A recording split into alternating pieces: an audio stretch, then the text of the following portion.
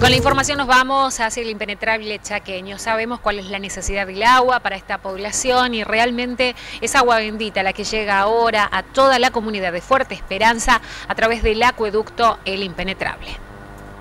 La red de agua domiciliaria ya está en su etapa final, el agua potable ya está en el obrador, este, nos dijeron que estamos esperando la parte del tanque, que es donde se va a terminar la última parte de la potabilización de agua, que es la que después va a llegar a nuestras casas a través de nuestras canillas. Tuvimos el acompañamiento del gerente del Banco Mundial, del vicepresidente, que vinieron a conocer en terreno lo que es la obra eh, del acueducto y la inversión que ellos hacen, ver los resultados que tiene. Y la verdad que se fueron muy asombrados y que ellos comentaban que la prueba piloto que tuvieron ellos eh, con lo que es los aljibes, ellos pensaron que, que iba, no entendían cómo podían hacer aljibes si ellos no iban a dar el agua potable. Y cuando vinieron, conocieron la zona, vieron nuestra realidad y entendieron la distancia que hay entre los distintos parajes, vieron que esa prueba piloto que ellos veían como algo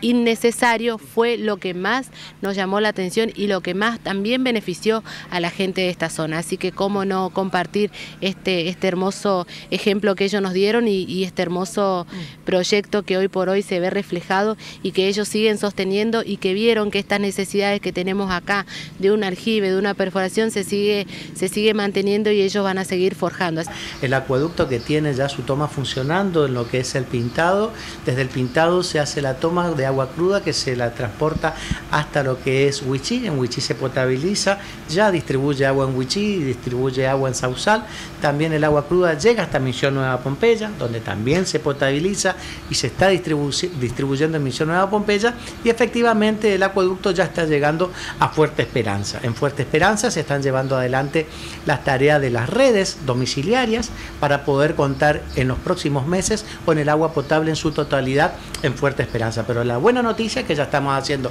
las pruebas hidráulicas y que puede contar hasta lo que necesitemos de agua potable para cargar camiones cisternas, por ejemplo, en Fuerte Esperanza. Situación que sin este acueducto dependíamos mucho de las precipitaciones, dependíamos de los niveles de las aguas subterráneas y hoy dependemos pura y exclusivamente de una fuente de agua segura como es el Bermejo. Poder contar con este acueducto en el impenetrable chaqueño le ha cambiado la vida a los habitantes de este vasto sector de la provincia del Chaco. Es una deuda comprometida y cumplida y la verdad que tenemos que estar orgullosos los chaqueños y las chaqueñas de poder avanzar en nuestro impenetrable. Esto más allá de que es agua potable genera nuevas oportunidades para todas las, localidades que se abastecen porque esto nos permite también pensar en que podemos instalar industrias, mayor comercio, trabajar fuertemente con el turismo porque es una vasta zona preciosa y poder contar con agua potable, poder contar con electrificación, poder contar con una ruta que se está llevando adelante desde las hacheras hasta Fuerte Esperanza, cambia la realidad de esta gente.